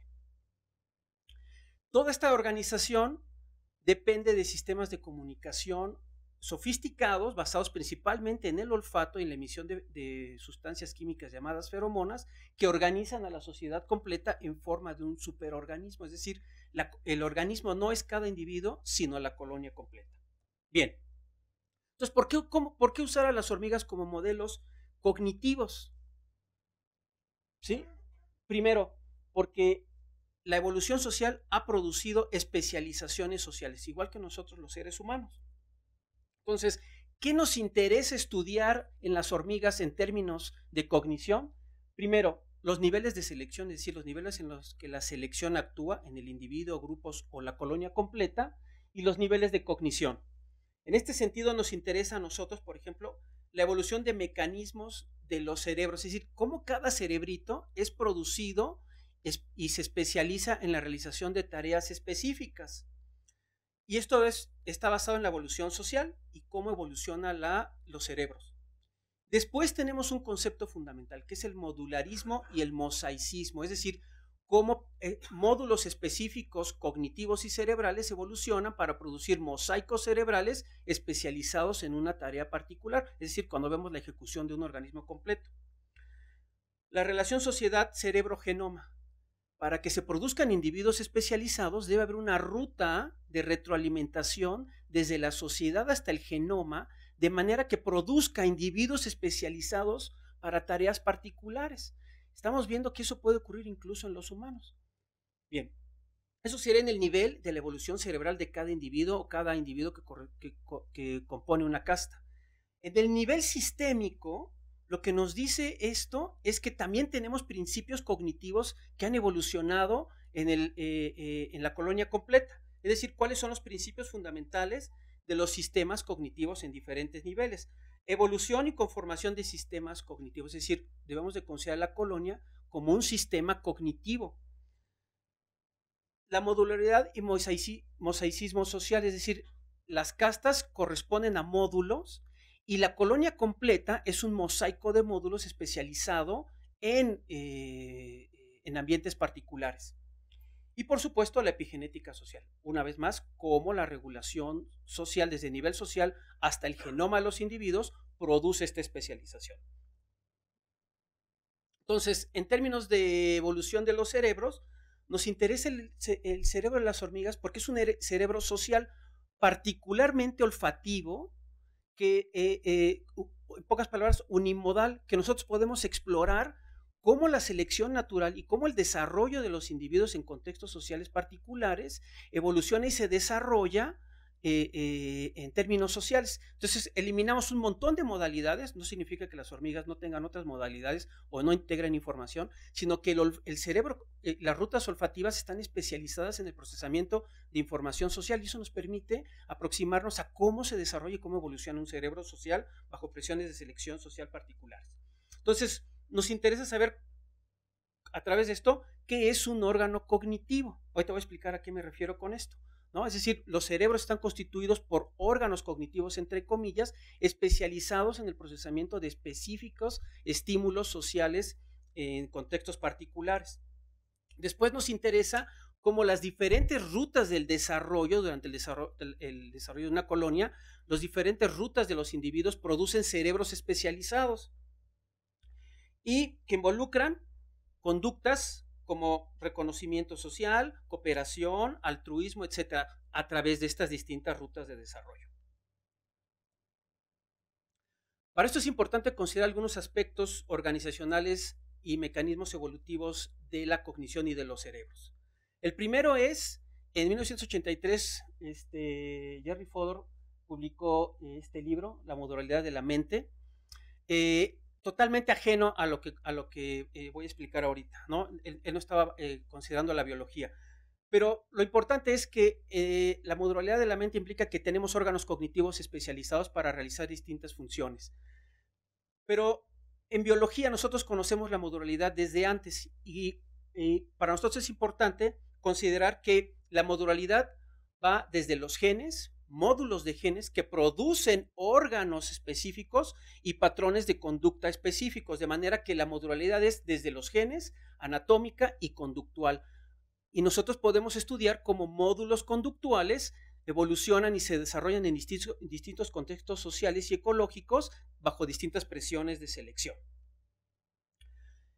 Esto está relacionado con cómo se desarrollan los cerebros y los distintos módulos. Hay un principio que se llama alometría, de manera que no se necesitan genes nuevos para producir conductas complejas, sino solamente modificación en genes específicos reguladores de la expresión génica, que pueden producir cambios en el desarrollo del cerebro, en el caso que les pongo aquí, que, un fenómeno que, que se conoce como magnificación cerebral o cortical, y esto implica qué partes de la corteza o de un cerebro están más desarrollados, y esto implica cuál es su papel o importancia en términos ecológicos. Mientras más área se dedica al procesamiento de una eh, modalidad sensorial, implica que hay más importancia en términos ecológicos. En el caso aquí que les pongo es eh, eh, este topo particular, me lo voy a saltar porque ya me queda poco tiempo. Nota es la plasticidad fenotípica, es decir, la capacidad para cambiar en contextos ambientales específicos, es decir, hay regulación este, epigenética del contexto social que determina cuáles serían las rutas de desarrollo y evolución de un cerebro particular y de sus módulos. El otro es exaptación, es decir, cómo los genes evolucionados en un contexto particular eh, pueden ser este, tomados por otro tipo de selección, en el caso de la, en este caso selección social, y producir cerebros especializados. De manera que lo que nosotros tenemos es un eh, mosaico genético, en el caso de los insectos sociales, que produce un mosaico cerebral y por supuesto un patrón o un mosaico de, funciones cognitivas que produce comportamientos especializados. Y nosotros podemos estudiar esto en las hormigas. Em, las estructuras cerebrales principales están relacionadas con el procesamiento olfativo. Aquí les pongo las, las principales. La ruta olfativa estaría iniciando en las antenas, luego en los lóbulos antenales que están ahí en rojo y terminando en los cuerpos fungiformes, que son centros de, integración multimodal, pero principalmente de procesamiento olfativo.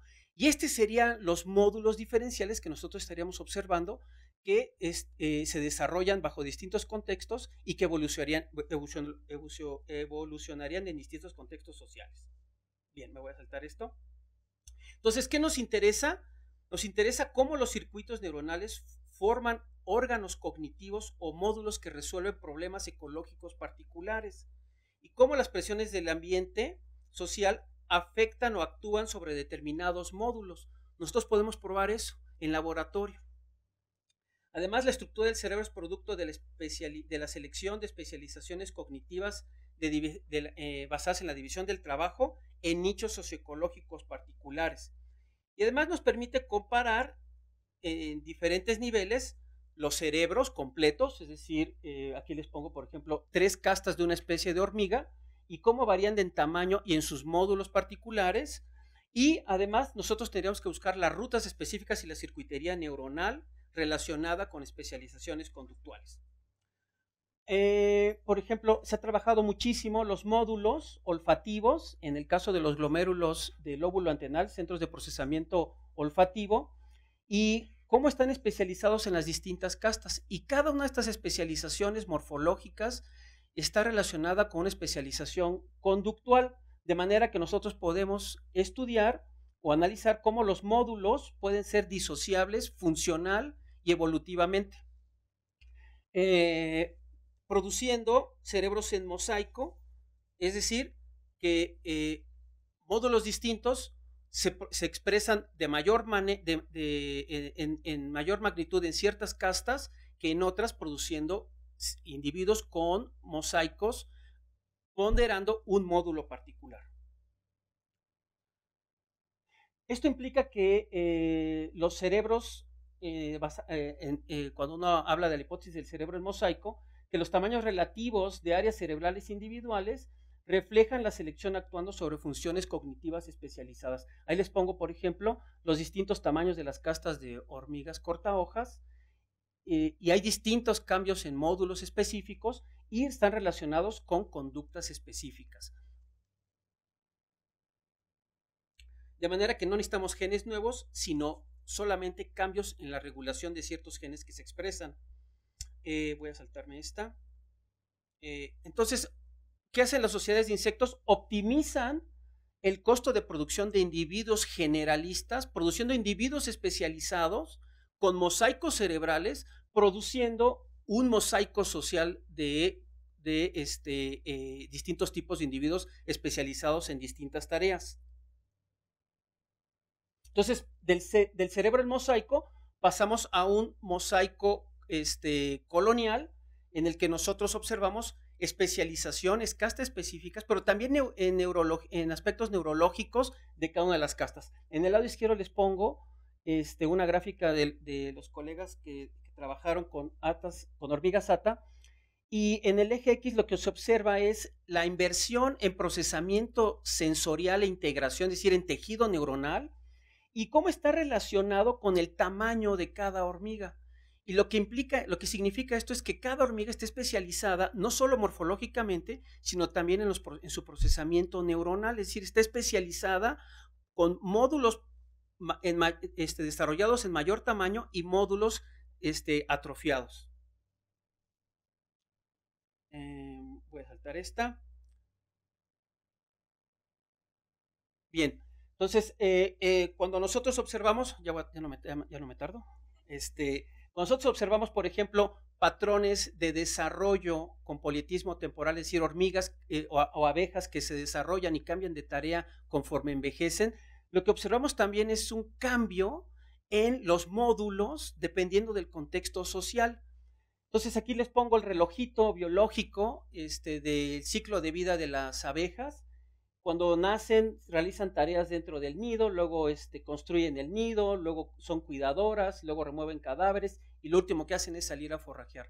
Durante todo este ciclo, lo que está ocurriendo es un cambio en el desarrollo de módulos específicos que puede evidenciarse en el en cambios estructurales, por ejemplo, en los cuerpos fungiformes, es decir, estos centros de, este, integración multimodal y de aprendizaje y memoria, hay crecimiento en los cuerpos fungiformes, de manera que hay cambios en los módulos especializados en tareas específicas. Todos estos eh, cambios están regulados por eh, un punto crítico en el desarrollo o en, ciclos de, neurohormonas que tienen efectos en el desarrollo del sistema nervioso. Para el caso de hormigas que son este, de distintos tamaños, es decir, que hay polimorfismo, esta, la hormona juvenil, que es el punto crítico, este, determina hacia dónde se dirige el desarrollo de cada hormiga, es decir, si se hace una hormiga grande o una hormiga pequeña con tareas especializadas. Y en, las abejas, que no hay abejas de distinto tamaño, lo que determina es que a lo largo de este ciclo cambian las hormonas y los niveles de hormonas que disparan desarrollos de módulos específicos que cambian la conducta. Entonces, lo que tendríamos es una regulación compleja desde la sociedad y las interacciones sociales que producen o que son detectadas en los cerebros de los individuos y que producen cambios en la expresión del genoma y que a su vez modifican el propio cerebro y que finalmente tienen efectos en la sociedad, en la organización, en la estructura de la sociedad. ¿Por qué? Porque la estructura de la sociedad se basa en la organización de tareas, la estructura de tareas y eh, la densidad de población de distintos individuos y de distintas castas. Y finalmente, en términos evolutivos, esto tiene efectos porque eh, dependiendo de las presiones de selección, se establecen estas rutas de desarrollo epigenético. De manera que lo que nosotros tendríamos es lo que nos eh, eh, mostraba Waddington hace muchísimo tiempo. Estos, la sociedad sería, impondría los factores determinantes, o sea, el paisaje epigenético, hacia dónde se dirige el desarrollo en las etapas tempranas o los cambios cerebrales dependiendo del contexto social. Eh, lo que produciría una, una demografía adaptativa a, a, través de un proceso que se conoce como sociogénesis, es decir, el desarrollo de la sociedad y cómo los individuos se especializan en diferentes funciones, tanto morfológica como fisiológicamente. Y esta, este proceso de sociogénesis está regulado justamente a, eh, desde eh, a partir de los niveles altos de la sociedad. Bien, termino con esto, nada más. Justamente lo que produce esto es cerebros especializados y lo que nosotros encontramos es otro patrón este, de cognitivo eh, eh, en las hormigas, es decir, lo que se conoce como distribución, cognición distribuida, de manera que los distintos individuos están especializados en pedacitos de información que son recopilados por, la, por las colonias completas, donde se evalúa y se toma decisiones. Lo que les pongo aquí es justamente cómo los las colonias con este, eh, castas morfológicas más especializadas tienen cerebros más reducidos, los individuos tienen cerebros más reducidos. Esto significa que los módulos, el, mosaico cerebral de cada uno de estos individuos, tiene módulos este, hipertrofiados y otros este, eh, hipotrofiados. De manera que si nosotros estudiamos la sociabilidad en todas las colonias de hormigas, es decir, por grados de sociabilidad, considerando el número de individuos, lo que nosotros observamos en términos de la evolución del tamaño cerebral, eh, es decir, qué, tamaño del cerebro tiene cada uno de los individuos, encontramos que al principio hay un proceso eh, de desarrollo alto que se llama cognición social, evolución de la cognición social, cuando se resuelven problemas complejos, y hay un punto crítico de inflexión en el que hacia la derecha los individuos no desarrollan cerebros más grandes, sino al contrario cerebros más pequeños, porque estamos entrando ya en un proceso de evolución supraorganísmica que se conoce como inteligencia colectiva. y eh, tendríamos una presión de selección, no a nivel individual, sino a nivel de grupo. Em, me han preguntado si los humanos estamos en algún punto crítico de, esta deflexión y los datos más recientes nos dicen que sí, los cerebros humanos desde hace unos 10.000 o 15.000 años han empezado a disminuir en términos de tamaño, de manera que podríamos estar entrando en un proceso de, selección de grupo mucho más fuerte en comparación con la selección individual. Y bueno, ya me fui rápido y me pasé bastante.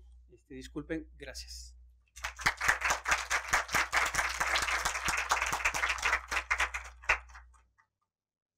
Gracias.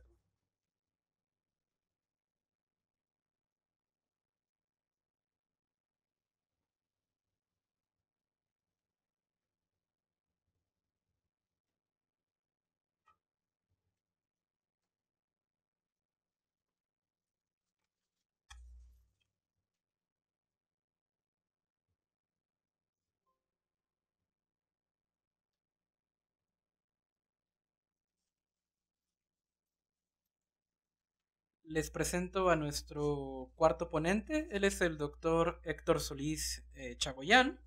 El doctor realizó su licenciatura en biología en la Universidad Autónoma Metropolitana, en la Unidad Xochimilco. Posteriormente realizó un doctorado en el programa de Ciencias Biológicas en la Universidad Nacional Autónoma de México y desde enero del 2023 se incorporó al Centro de Investigaciones en Ciencias Cognitivas de la Universidad Autónoma del Estado de Morelos, con el nombramiento de profesor investigador de tiempo completo. Ingresó en el año 2012 al Sistema Nacional de Investigadores y actualmente tiene el nombramiento de investigador nacional nivel 2. Cuenta con 40 artículos de investigación publicados en revistas arbitradas, 10 capítulos de libros, tiene experiencia docente a nivel licenciatura y posgrado. Además, ha sido director de tesis y miembro de comités tutoriales de alumnos de licenciatura y posgrado. El doctor Solís desarrolla investigación en el área disciplinar de neurociencia cognitiva y evolutiva, con énfasis en la neurobiología de los trastornos psiquiátricos, en particular el estudio de los mecanismos implicados en los trastornos de la mente. Además, está interesado en el estudio de la generación y sincronización de los ritmos circadianos y su papel como moduladores de los procesos cognitivos. A la fecha es responsable del laboratorio de neurobiología cognitiva en el Centro de Investigación en Ciencias Cognitivas. Su trabajo se titula Las células troncales del epitelio olfatorio parecen ser un modelo celular adecuado para estudiar los trastornos psiquiátricos. Un aplauso, por favor.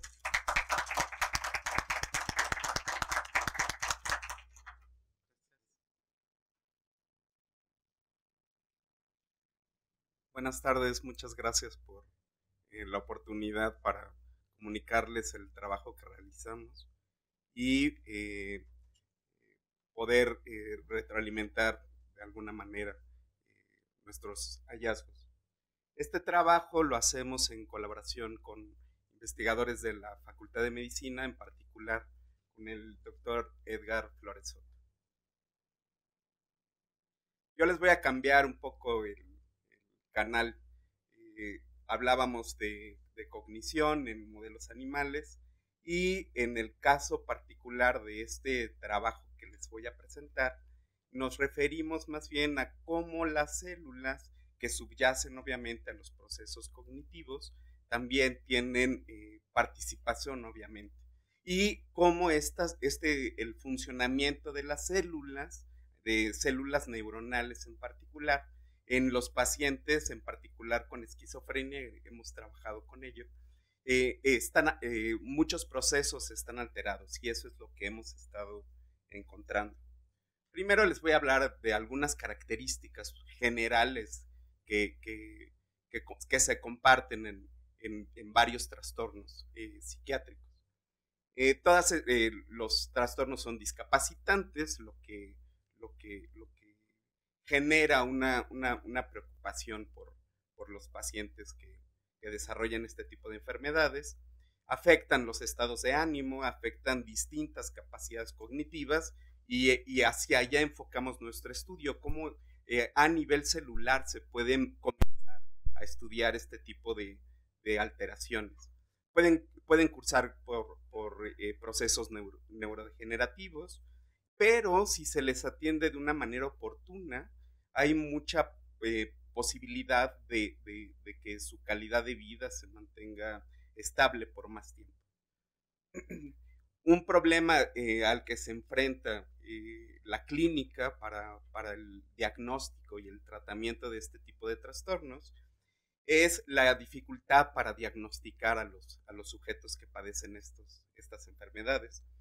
Y eh, por lo tanto, uno, uno de, los, de, los, de, eh, de, las motivaciones que originaron este estudio fue detectar biomarcadores de rasgo. Esto, esto inicialmente lo, yo me incorporé a un laboratorio en el Instituto de Psiquiatría y ya posteriormente hemos estado analizando algunas, algunas alteraciones en algunas funciones, como les voy a comentar un poco más adelante. El, estudio entonces de estos trastornos tiene diferentes niveles de aproximación. Eh, uno de ellos es eh, a través de imágenes cerebrales en el, y a partir de, esto, de estos estudios se ha detectado que hay modificación en, el volumen de diferentes estructuras cerebrales. También se han hecho estudios post-mortem en donde, por ejemplo, se ha estudiado eh, cómo, es la, cómo es la expresión génica, cómo son los niveles de algunas proteínas, cómo, cómo ha cambiado eh, eh, histológicamente algunas regiones del, sistema nervioso. Y en particular, la aproximación, como les comentaba, que a nosotros nos interesa, es a nivel celular. Y en células obviamente vivas y obtenidas de pacientes vivos.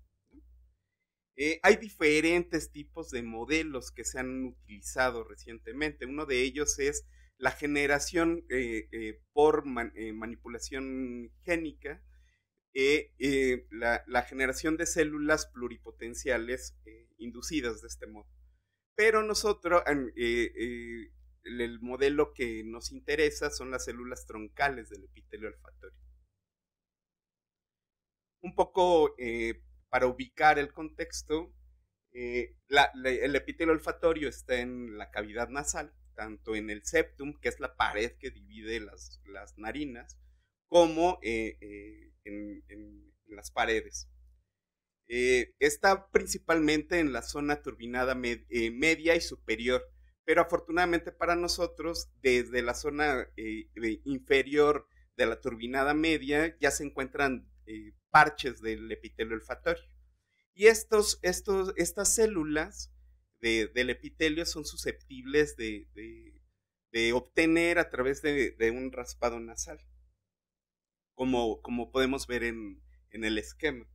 Nosotros, eh, eh, eh, estas células se pueden obtener mediante el raspado, son susceptibles de cultivo, de criopreservación, y con ellas se pueden eh, descongelar y obviamente vivas eh, eh, poder, podemos estudiar diferentes funciones. ¿Cómo sabemos que estas células que nosotros estamos cultivando efectivamente son del epitelio olfatorio? Hay dos rasgos principales. El, epitelio olfatorio es el único en, en, la nariz que tiene células neuronales. Entonces, como está en la ilustración, tenemos dos marcadores muy importantes que nos permiten eh, demostrar esto. Uno de ellos es la tubulina beta 3. Esta es una proteína que forma microtúbulos y de manera específica en, células de estirpe neuronal.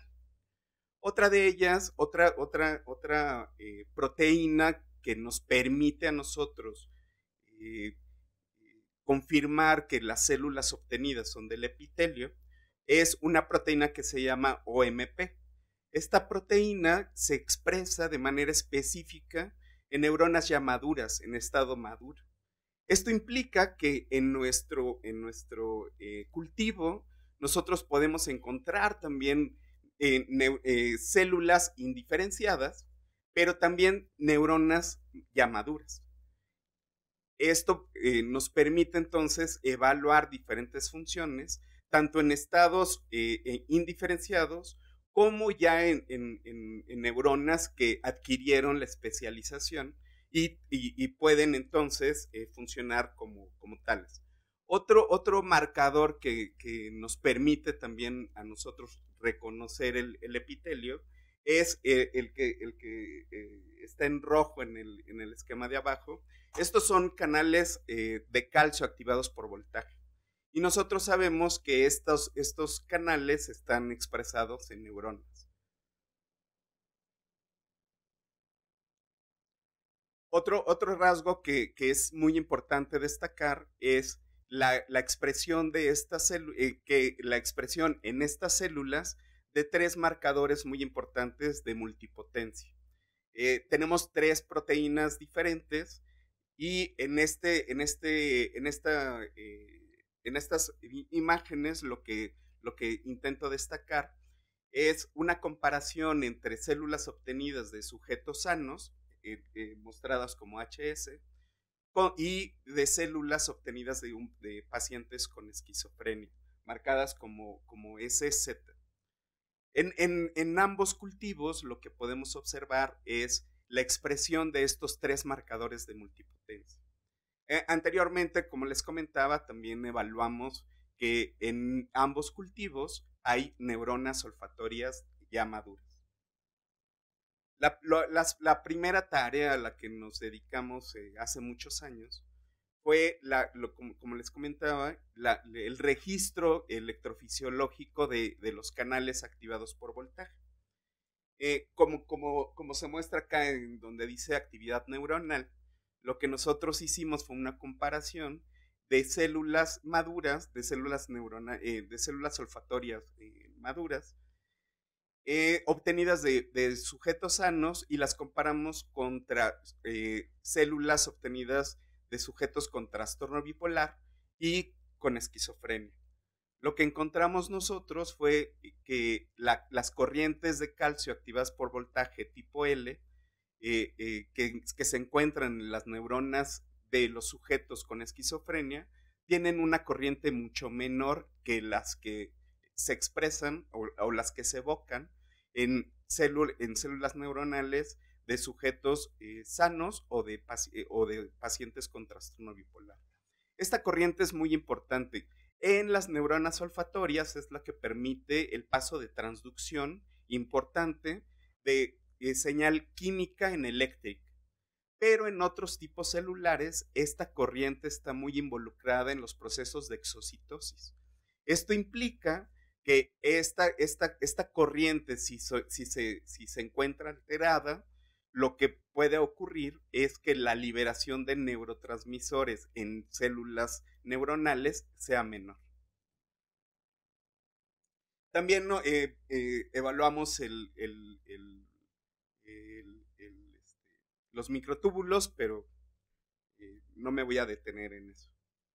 Posteriormente, nosotros quisimos, quisimos analizar la señalización activada por ATP.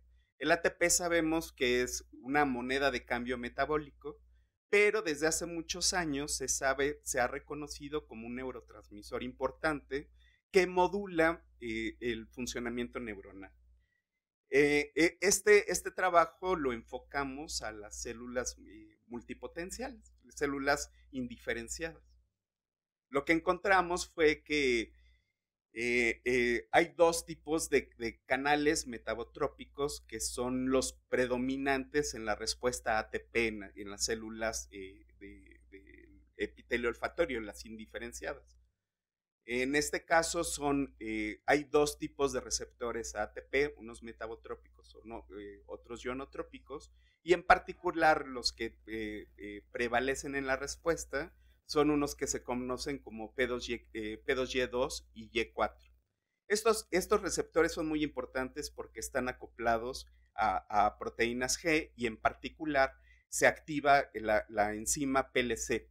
esta enzima eh, produce eh, un segundo mensajero que es el inositol trifosfato. Este es un mensajero soluble que llega a los depósitos de calcio intracelular, se une a receptores eh, de IP3 y permite, a partir de esta, de esta unión, la salida de calcio al, citosol.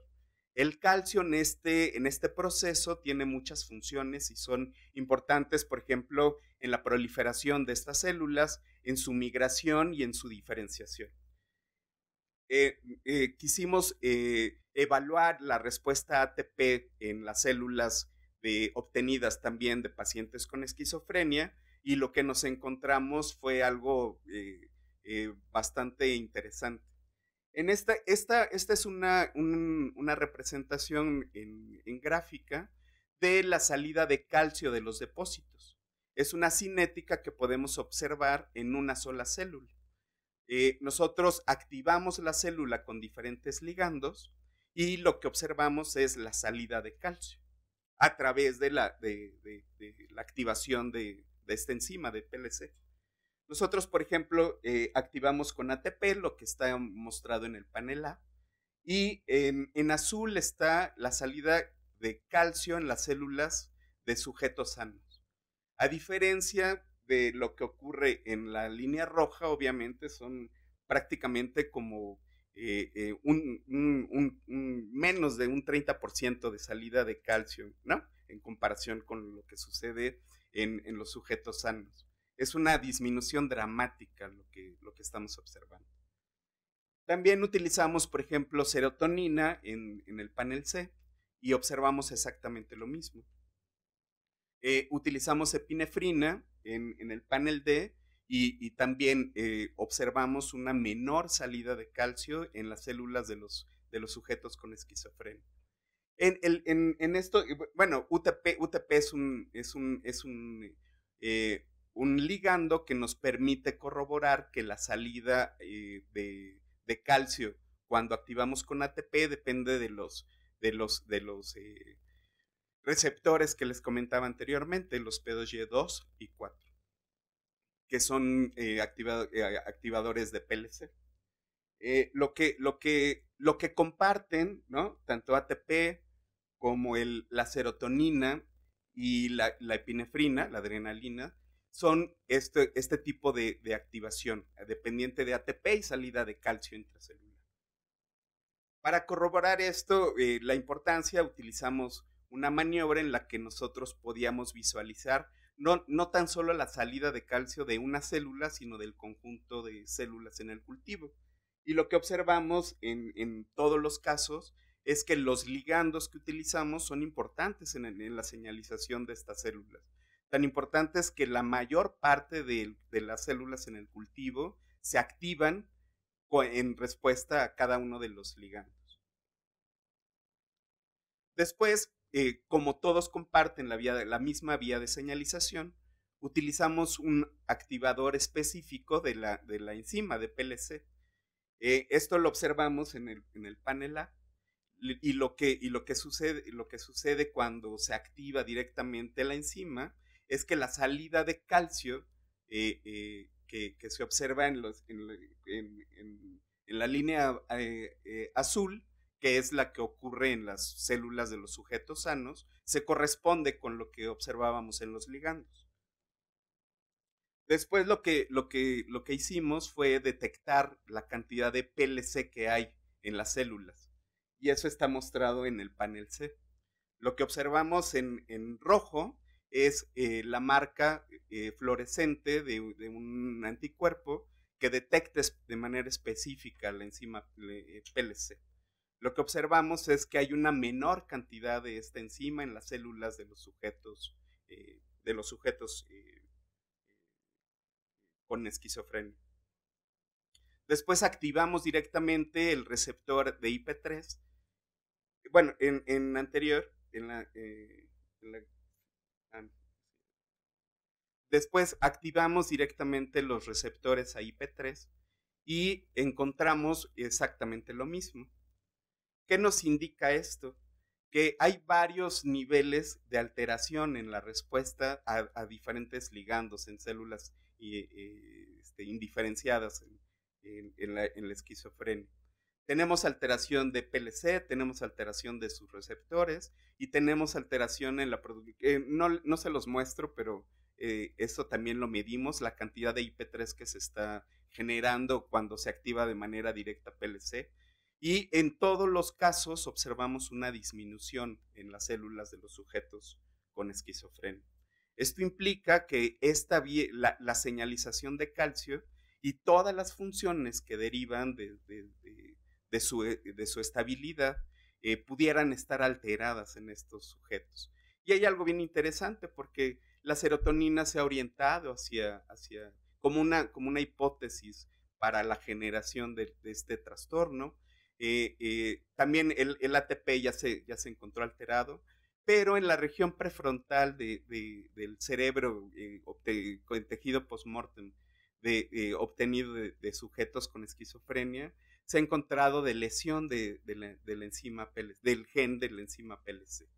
Entonces nosotros pensamos que este pudiera ser un modelo adecuado para estudiar esta, esta enfermedad y no tan solo dejarlo a, nivel de, de, localizar biomarcadores, sino también pudiéramos nosotros reconocer algunas, algunas eh, funciones que pudieran estar alteradas no tan solo en el estado inmaduro, eh, eh, indiferenciado de, de, las células, sino también en etapas posteriores, como les comentaba al principio, cuando nosotros registramos las corrientes de calcio activadas por voltaje en células ya maduras, incluso eh, la, señalización de calcio está a la baja. Esto implica que eh, eh, pudiera, pudiera mantenerse, ¿no? E, este, estas alteraciones que encontramos en células inmaduras pudiera mantenerse a lo largo del desarrollo. Recordemos que las células maduras y las neuronas proceden todas de, de células indiferenciadas en un inicio. Entonces, como conclusiones, en las células obtenidas de los pacientes hay alteraciones en distintas funciones celulares. Las alteraciones se observan tanto en células troncales, células indiferenciadas, como también en su progenie y especializada, en el caso particular, en este caso particular, en neuronas olfatorias maduras. Y las células troncales del epitelio olfatorio expresan distintos mecanismos de señalización activados por distintos transmisores. Esto es algo muy interesante porque un solo tipo celular nos permite evaluar diferentes funciones y la, cómo, cómo la señalización de diferentes ligandos pudiera estar o no afectado en, esto, en, esto, en las células obtenidas de los pacientes. Y en particular, lo que, lo que les resalto en la, en la plática es que, que estas células troncales eh, eh, tienen alterada la señalización dependiente de la activación de la enzima PLC. Eh, algo que nos interesa estudiar a, futuro es cómo el, calcio, el calcio es un ion muy importante, como les comentaba, que cumple diferentes funciones. Su salida, y más bien su, su concentración es muy estable en el citoplasma cuando hay un aumento de calcio dependiente de la activación de, señalizaciones, lo que ocurre es que hay, diferentes mecanismos que permiten que se restablezca la concentración. Uno de ellos es la reincorporación del calcio a los depósitos, pero también su salida de la célula. Y eh, eh, em, estamos ahorita tratando de, estudiar los mecanismos que regulan la homeostasis de este ion. En particular, iniciamos con, la detección de una, de una bomba que permite la reincorporación del calcio a los depósitos, que se llama CERC. Y como, como se muestra en la imagen, lo que nosotros observamos es una disminución en las células obtenidas de los pacientes con esquizofrenia. Esto implica que no únicamente la señalización activada por ligandos pudiera estar alterada, sino incluso eh, eh, puede ser de manera, eh, no puede, pudiera no ser específica de un ligando, sino inespecífica, porque cualquier aumento de calcio intracelular pudiera estar, pudiera, pudiera no regresar a la basal. Entonces, este es algo que, que nos interesa trabajar a futuro. Espero que les haya interesado. Muchas gracias.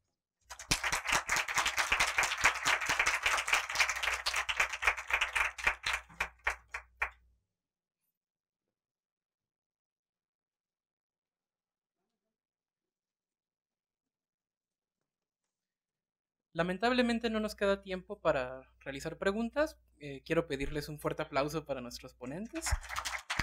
Fueron muy, muy interesantes todos esos trabajos. Un gusto tenerlos aquí. Y me gustaría invitarlos a al segundo simposio. Este es a las 5 en el auditorio Florente López, en este mismo edificio. Y nada más para que se queden picados, se llama El mundo de los sentidos animales visto desde la ecología sensorial. Muchas gracias. Thank you.